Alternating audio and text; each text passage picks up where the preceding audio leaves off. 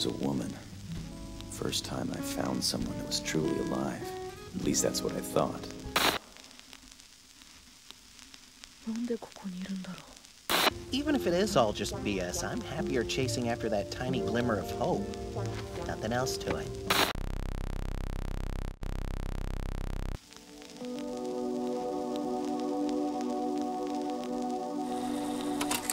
An unfamiliar ceiling, a city of the dead, the infinite space of nothing or steam rising into the air, maybe a tower descending into heaven or a snowy battlefield littered with needless death.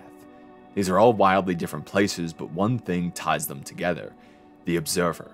Not one person, but rather a collection of them, an idea of someone, a common trait they all share, existing simply to exist.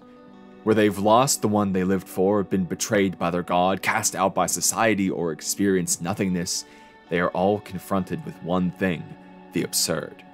Laid out by many but stressed by Albert Camus, it is not a certain thing, but rather the comparison brought between other things the human mind, which has the ability to reason, and the world which it exists in, which has no such thing.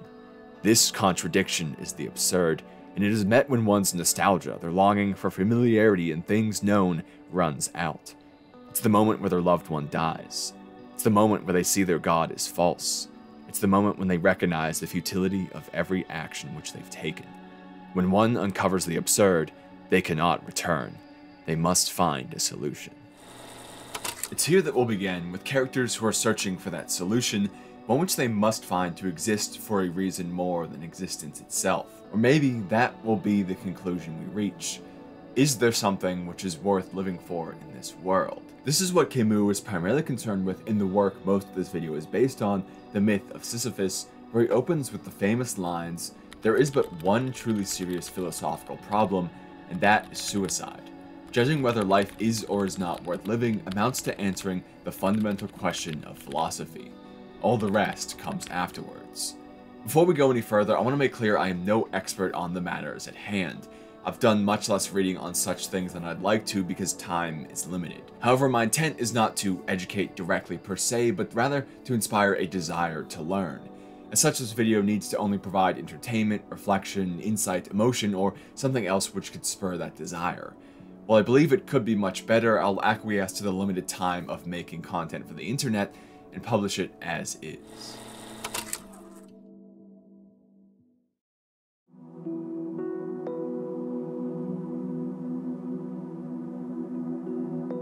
One thing we can agree on across most of the characters we'll discuss is that they have or had some sort of reason for being, whether that was gifted from birthright, discovered over journeys, or anything in between.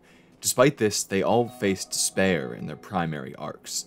I think it's prudent to start with Sonny Boy and Nagara, one of our few exceptions to this stipulation of having had purpose. A fantastically surreal anime, it follows Nagara and his class as they go adrift. That is, they end up in this abstract world where they have superpowers, ranging from a light up finger to the ability to manipulate the world around them. In this world, death does not exist. No matter how much time passes, they never age and they will never die. Some former students have existed here for thousands of years, changing forms, going mad, doing nothing at all, and so much more. Some even invent death to try and escape their existences. Rajdhani, a character who explores this world for thousands of years, puts it best. The self exists for no reason, and it ultimately ceases to be. Life's a constant cycle of vain endeavors. Since it is meaningless, then this moment of becoming is a precious and beautiful thing indeed. The anime makes the case that death doesn't strictly give life meaning, but gives it the potential for it. If we all lived forever, we would eventually become a vague nothingness from experiencing too much. We would simply die a longer death. This is the lesson Nagara takes to heart, someone who never really had a purpose. Long before they went adrift, he already was. He eventually returns to the real world, purposefully choosing to live where death exists. We don't see him find meaning, but deeply understand he now knows it's something he can find, even in a meaningless world. In a way, this makes Sonny Boy the existentialist anime. It prudently states that the world is meaninglessness, and by stressing those characters who have existed for thousands of years and yet still drift purposelessly, it also believes that existence precedes essence.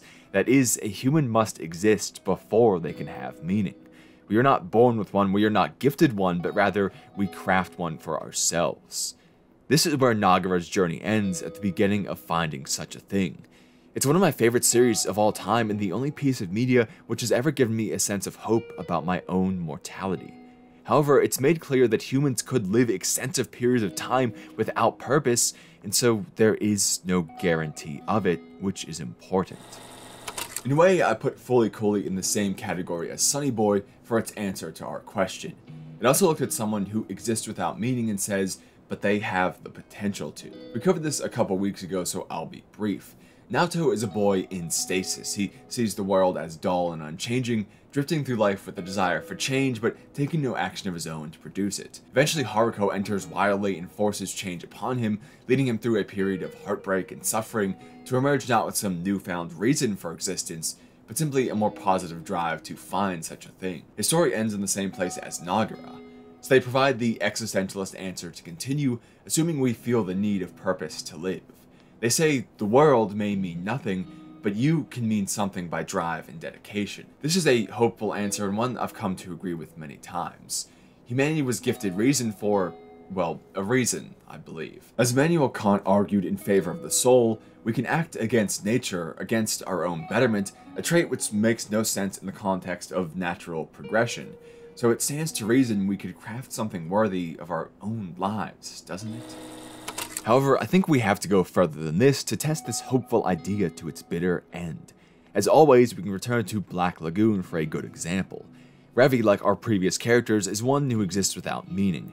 As a child in New York City, she was beaten and abused by her father and the police alike.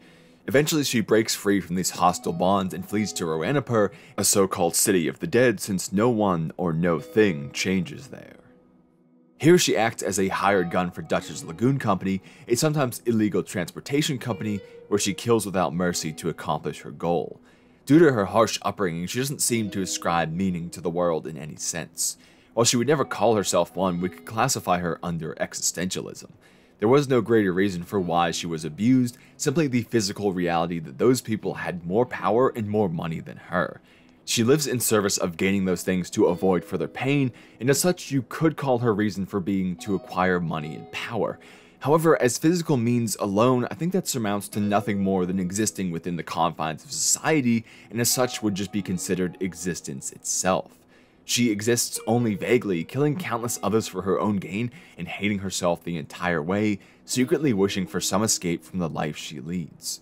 What we see here is simple. Just because there is a potential for something which makes life worth living doesn't mean we'll ever experience such a thing. Nagara and Naoto may accept they can find a reason for being, but is this of any value when there is no guarantee?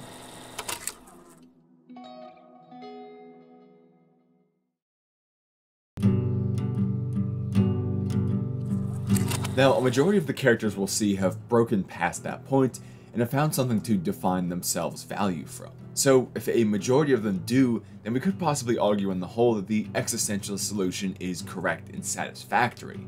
Now, I think it is correct, and the assumption we can find and create meaning, but is not satisfactory for the exact same reason. A meaning created by imperfect beings can never itself be perfect. As such, it's possible for it to be wrong, for us to lose it, for it to perish, and so on.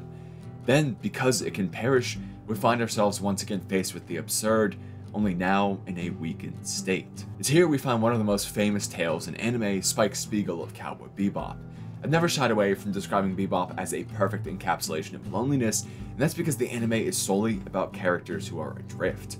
They literally float through space, tackling new adventures, occasionally confronted by their pasts, but every time ending in the exact same place, right where they started. They're a found family, but one which we're reminded at so many points can be torn apart in any instant. Spike, once a member of the Red Dragon Syndicate, fell in love with Julia, the girlfriend of his partner in crime, Vicious. Finding out about this betrayal, Vicious sought to correct the situation through violence, only being solved via Spike faking his own death, forced to leave his home and love alike. He eventually teams up with Jet Black and becomes a bounty hunter, but he never quite moves on from the state, saying things like, Look at my eyes, Faye. One of them is a fake because I lost it in an accident. Since then, I've been seeing the past in one eye and the present in the other. Spike began to live for Julia. Without her, he has no reason to continue, at least outside of the fleeting hope they'll somehow find their way back to each other. He's not so much living through hope as he is a simple container for hope to exist within. Eventually, their paths do cross again, but only for a brief moment before she's struck down. Not by some grand enemy, not by even a named character, not for any particular reason, simply because. Now Spike doesn't even have the hope which fueled him. This is where we get the famous line I'm not going there to die. I'm going to find out if I'm really alive. when he seeks to storm the Red Dragon Syndicate alone and kill Vicious once and for all. I think, despite how angsty that statement is, it does provide a lot of meaning. However fleeting it was, the idea of Julia was enough reason for him to keep on living. He could ward off the absurd just as much as required. However, it was temporary, and without that reason, he's faced with the absurd once again. Without meaning, he isn't sure if his existence even constitutes living anymore. And is there any way to test your very existence outside of facing death? We can debate how healthy defining yourself around a single person is, we kind of have before, but what's not debatable is that Spike found a reason. He existed and then found essence, and then lost it. Faced with the absurd, he was unable to find another spout of essence and he perished. He chooses the path which reconciles the absurd by removing one part of the equation. Since it's constituted from contradiction, if one side, either the human or the world, is removed, it ceases to be. We can see this in another anime you may or may not have heard of, Neon Genesis Evangelion. Asuka is our exhibit for the time being. Her story begins as a child. Her mother, through an unnamed psychological affliction, became unable to recognize her own daughter. As such, she referred to dolls as Asuka instead, leaving her real daughter with a single desire to be witnessed by others. This crawls into every fiber of her being from her infatuation with Kaji to her reason for piloting Eva Unit 02. She becomes obsessed with being the greatest pilot because, as such, she cannot just garner attention, but all of it. If she saves the world against the invading angels, she'll be forever recognized. Her existence will be eternally validated. Eventually, however, she grows rash and charges into battle against an unknown foe, one which has the power to destroy her mentally. Her psyche gone, she's unable to effectively pilot an Eva unit since they depend on mental synchronization. Here, she finds despair. She leaves the NERV facilities, content to sit amongst piles of rubble disillusioned with her own existence. Her reason for being became so core to her that without it, she is nothing. She falls into a comatose state, unable to continue living, but without the energy to end her own life.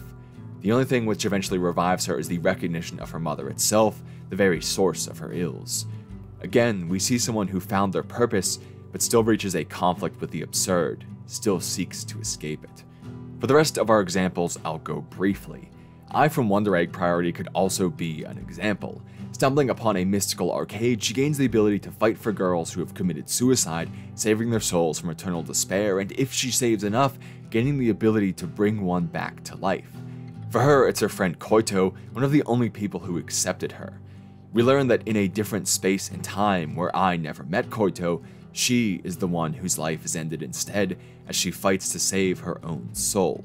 In a mixture of two timelines, we see someone like our others who found something to cling to and was lost without it, even if they decided what it was on their own. Vincent from Ergo Proxy is another example, one who fails to become an ideal citizen in a society which refuses to accept individuality. His choices were to die the death of becoming homogenized or perish in the harsh wastelands of a post apocalyptic world. Faced with these possibilities and confronted with the truth that his actions were for nothing, he contends himself to die rather than standing up to the absurd. He ends up living, but that's something we've better explored in another video. He's also another point I want to quickly address. Our ability to define our own existences via meaning is limited by physics and society and so on. We can't make ourselves grow wings, we can't escape working. Vincent finds despair because his meaning was impossible not from his own lack of effort, but because no one else would accept that effort. We could point to Rock from Black Lagoon as another example of this, but I've recently covered something very similar with him, so I won't do so again here. Now Okabe, specifically from Steins Gate Zero, would be another one. His story is one of time travel. A self-proclaimed mad scientist, he and his friends accidentally invent time travel, or rather the ability to send data back in time. This butterfly affects into the destruction of the entire world, as Okabe is forced to do the one thing he sought to never do, hurt his friends so he can save them from this awful fate. His entire being was dedicated to these friends. His mad scientist persona Hououin Kyouma arose as a way to cling onto those who mattered. He knows it's false but maintains it anyway so he can maintain them. While he succeeds in the original anime, in Steins Gate Zero he gives up, resigned to live in a world which rejected his reason for being. A mixture of other humans and the nature of the universe decreed he could not exist as he wanted, and so he's left with nothing more than a shell of himself. Okabe lives, but Kyouma has died. Our world is not ideal, and as such, we cannot contain every meaning within it. Even if we accept we must find our own in the endless nothingness of being, they can be denied.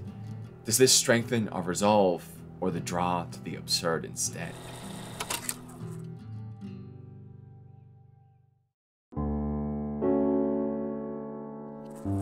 There's also nothing to a reason for being, which states it has to last across the entirety of being.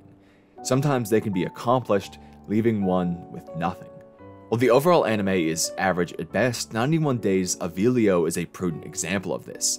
Taking place in the era of Prohibition, he seeks revenge on the Vanetti family after receiving a letter stating they were the ones who killed his family years ago. Before this letter, he was drifting, speaking to no one as he returned home to an empty apartment.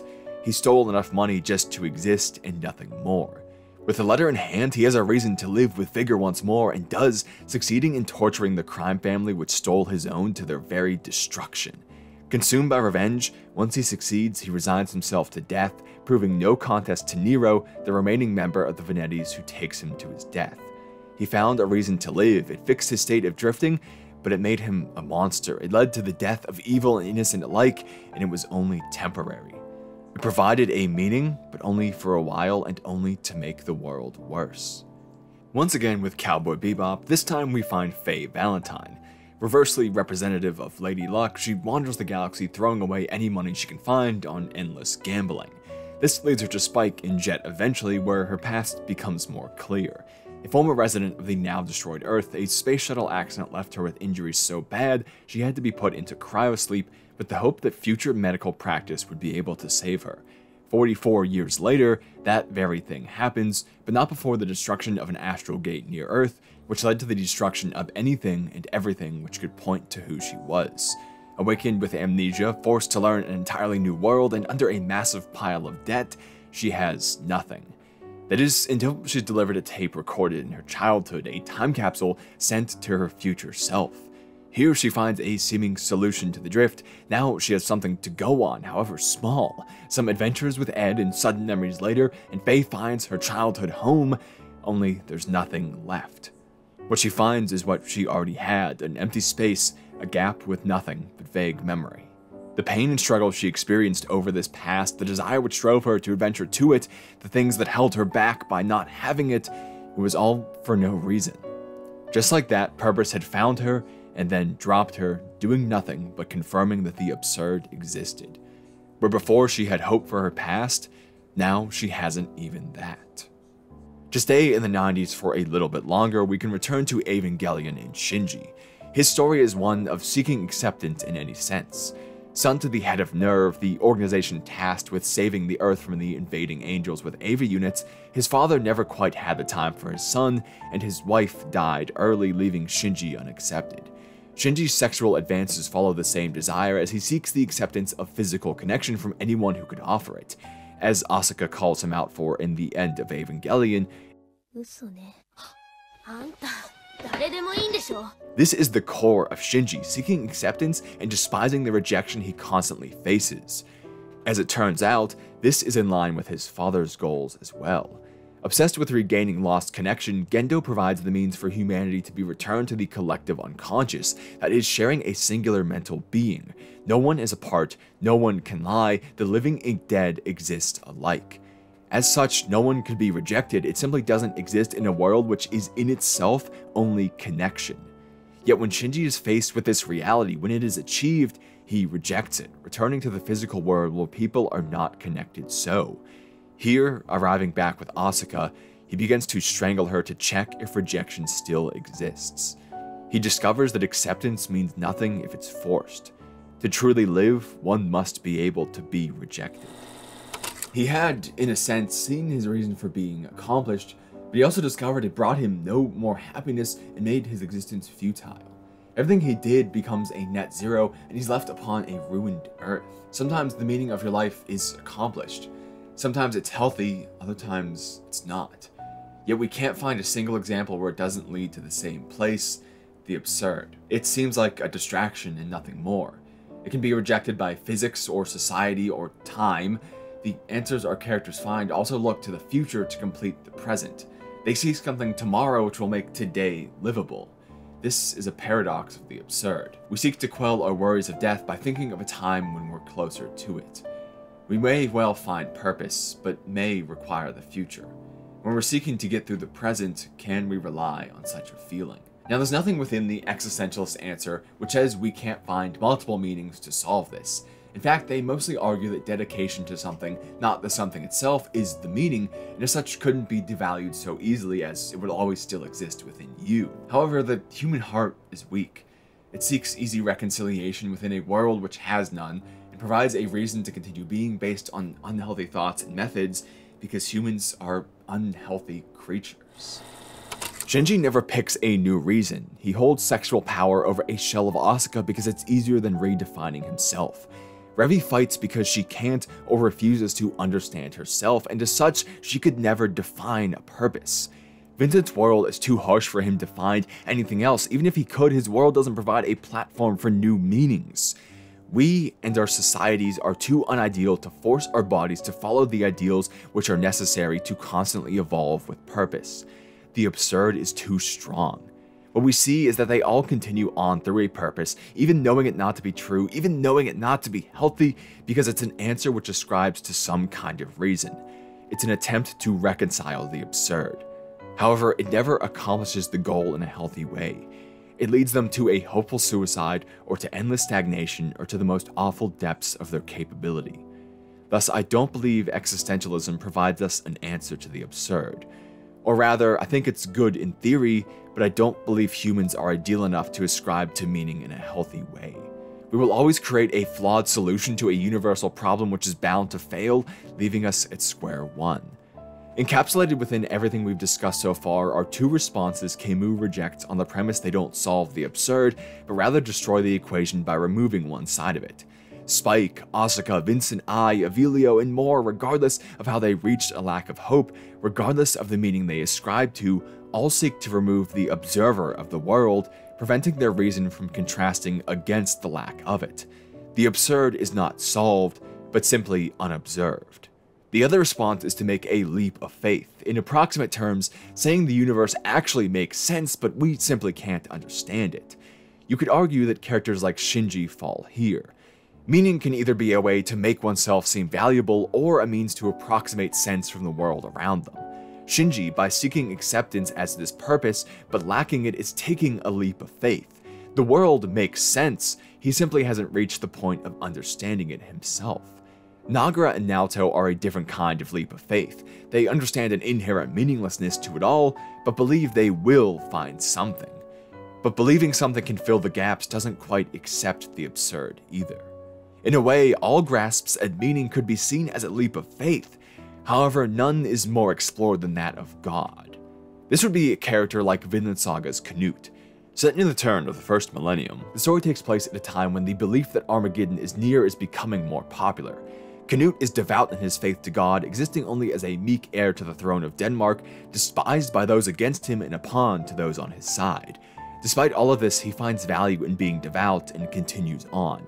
He has taken the ultimate leap of faith, accepting that the world is beyond his comprehension and making peace with it. Camus called such leaps of faith philosophical suicide because they seek to create reason out of an acceptance that there is none and as such destroy the very foundation they're built upon. He rejects both responses of physical and philosophical suicide and puts forth his ultimate answer to the question is life worth living? Yes, and the reason is revolt.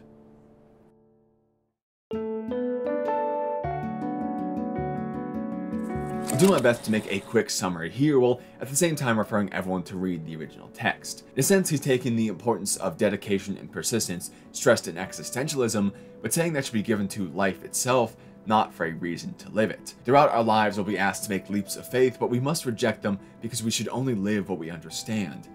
We're faced with the idea of ending our own life, but to do so is simply eluding the problem, not solving it, and so we shouldn't. We cannot solve life, and we all have the same destiny. As such, the most hopeful answer is revolt, to live in spite of our fate. The theme of permanent revolution is thus carried into individual existence. Living is keeping the absurd alive. Keeping it alive is, above all, contemplating it. Unlike Eurydice, the absurd dies only when we turn away from it. One of the only coherent philosophical positions is thus revolt. It is a constant confrontation between man and his own obscurity. It is an insistence upon impossible transparency. It challenges the world anew every second. Just as danger provided man the unique opportunity of seizing awareness, so metaphysical revolt extends awareness to the whole experience. It is that constant presence of man in his own eyes. It is not aspiration, for it is devoid of hope. That revolt is the certainty of a crushing fate, without the resignation that ought to accompany it.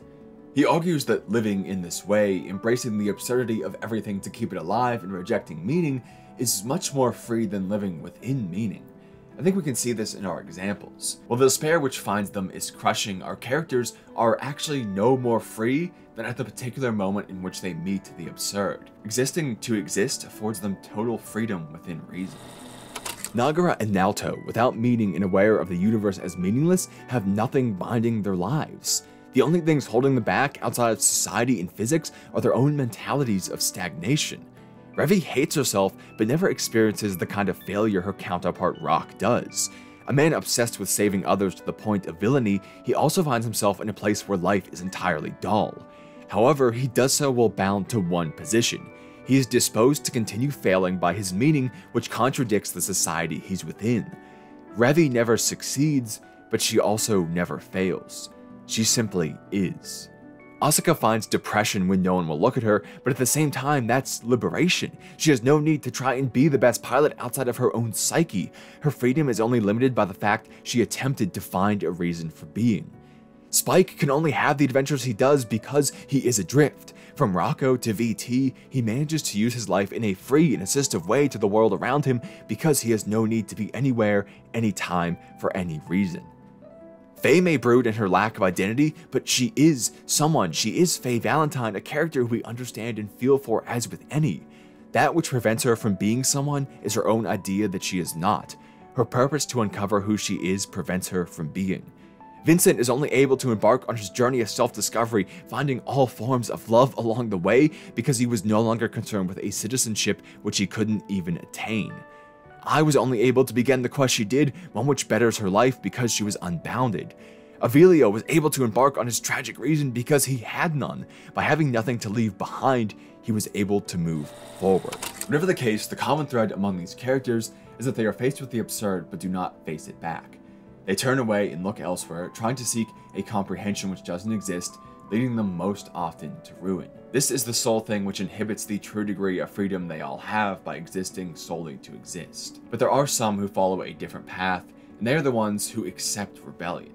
Because of their open-ended nature, both Nagara and Naoto fit here as well, however, I want to save the space for others since that pair exemplifies existentialism so well. For ones we've already mentioned, we have Shinji.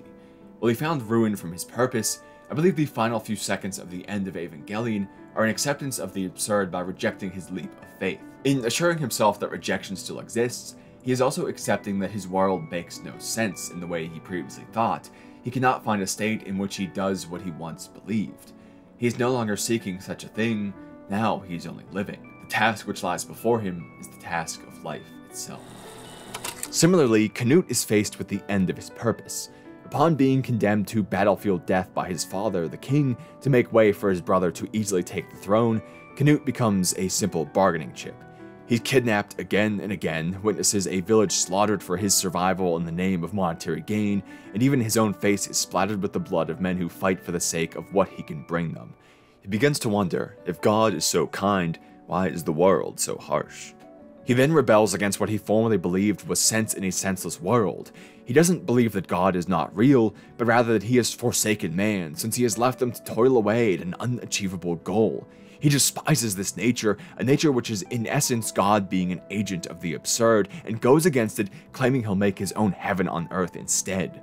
While this could be seen as a reason for being, I take it as living itself. A heaven on earth would be one where people are free, where they live to live rather than living in service of reaching heaven. As such, I see him as an absurd hero, rebelling against a god who is the absurd. In this, he becomes powerful. His success is due to the fact he has begun to revolt, that he has rejected the leap of faith he was born into. However, Vinland Saga is an anime which presents us with its most important and most true character at the start, before showing us the misinterpretation of that ideal character's will. This is Thors, the father to the main character, Thorfinn. Once the most feared warrior in the Danish army, he grows disillusioned with the world around him. He no longer sees a point in the death he brings or the death brought against his people. All it is is an end to life. Now a father, he understands life differently. He seeks to escape a kingdom which allows no escape. He fakes his death, returns to gather his family, and flees in the night to Iceland, where he seeks only one thing to live. This is what he begins to define as a true warrior. The true warrior doesn't fight war, but rather he fights existence itself. He toils, he wakes and sleeps every day without fail. He continues simply because he must continue, for that is life's hardest task. He recognizes no reason for all of it, yet he continues anyway. This is an embrace that the absurd rejects and then a revolt against it, an acceptance of the freedom which comes with it, demonstrated clearly in the life Thors leads. The beautiful scenery, his complete family, the care he feels for life and other beings, eventually even giving his own for them. Thors leads this kind of life which is harsh but rewarding because he revolts against the absurd. The beauty of life is living in spite of it all. He also embodies something else Camus stressed if I convince myself that this life has no other aspect than that of the absurd, I feel that its whole equilibrium depends on perpetual opposition between my conscious revolt and the darkness in which it struggles. If I admit that my freedom has no meaning except in relation to its limited fate, then I must say that what counts is not best living, but the most living. While Thors certainly embodies the most living, I think we can return to Ergo Proxy for an unlikely hero. The anime features autoreivs, machines which accompany humans and fulfill most of the world's tasks. However, a virus exists which provides them with consciousness. When afflicted, they fall to their knees and appear to pray before acting on their own will for the first time. While the response to this varies, the most important is Pino, a young companion type. Gifted with thought, she briefly questions things like who she is and her place in the universe before finding acceptance and embarking on a journey of living like a human. She doesn't despair, despite being aware of the world to the same degree as every other character, of its ruin and its lack of meaning. She has been fully rebuked of purpose. Once destined to be a daughter, she is no more. She is faced in totality with the absurd, and her only response is to live. She learns how to draw, then how to do so with her own ideas instead of copying. She comes to understand what death is and why people feel so sad when someone else has died. She feels for her father, not because she was created as her daughter, but because she wanted to be. She learns to think, to exist with consciousness. She is living plain and simple. She is experiencing the most living she can in a world which inhibits living on its very principles. The life of what remains on this planet is supposed to die. Yet she lives anyway, against her world and against all worlds, with her reason and against the lack of it which surrounds her. Pino is the absurd hero. But things would be amiss without mentioning the original absurd hero outlined by Camus, the titular Sisyphus. Earning the scorn of the gods, Sisyphus is condemned to roll a boulder up a hill, at which point it falls back down and he must repeat the process for eternity. The only aspect of his life is this unending toil, which is tragic only because he is aware of it. His consciousness of every second of this fate he must lead. But this is also rebellion.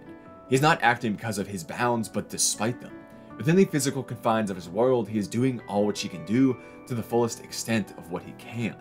His life continues, and it does so because he wills it so, not all exhausted, and the revolt continues forever. Because he is aware, the absurd remains, and nothing conquers him. Camus says, the lucidity that was to constitute his torture at the same time crowns his victory. There is no fate which cannot be surmounted by scorn. Awareness of our fate and living anyway is the answer. As such, Sisyphus has succeeded. This is what leads Camus to conclude with some of the most immortal words ever written The struggle itself towards the heights is enough to fill a man's heart. One must imagine Sisyphus happy. This is what I see in our absurd heroes as well. They struggle against all, embracing their ability to reason and the lack of it which surrounds them. Nothing makes sense. Everything is simply because and one day they'll die like everyone else. But they scorn this fate and live anyway. They hold as much power over the absurd as it holds over them, and they draw the battle out to its bitter end. We don't find an end to existing simply to exist. All we can do is accept it, embrace it on the whole, draw freedom from it, and continue fighting. Our characters who fail do so because they take leaps of faith, because they refuse to revolt but instead attempt to conform to the world. Even if there is no hope, existing to exist is not despair, it is simply the only true state. It is not hope, but it is revolt, the only option.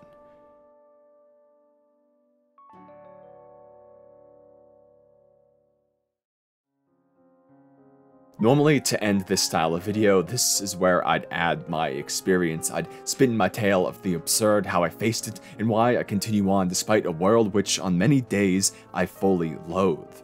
A large part of it is the scorn Camus draws attention to.